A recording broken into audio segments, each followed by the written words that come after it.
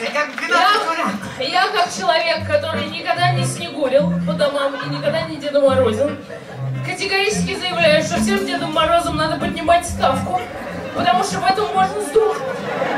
Это очень тяжело и жарко. Кирилл Кирилла нормально, да? Да, Дед Мороз. Да, Дед Мороз. Да, Дед Мороз, твои проблемы.